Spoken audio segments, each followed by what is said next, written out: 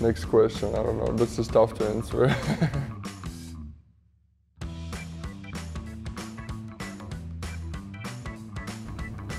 Uh, there has to be dunks, Dunks is, routine is pretty crazy as well. just with all the stuff he does to his body and his brain to get dialed up.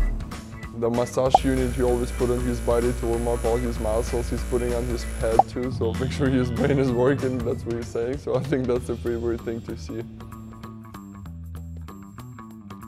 So worst stand-up comic thinks it's really funny, but not at all sometimes is uh, Malcolm Subban, I think.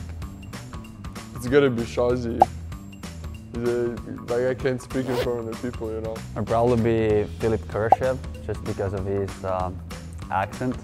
Not funny. Not funny.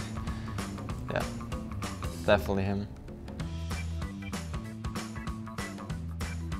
Oh, it's gotta be Patrick Kane. He's he got his flow going this year, you know, like he's uh, keep, keep walking in the bathroom before the skate, make sure his hair looks good. He has like own brush with his number on it, so it's it's a pretty specific thing for him, definitely.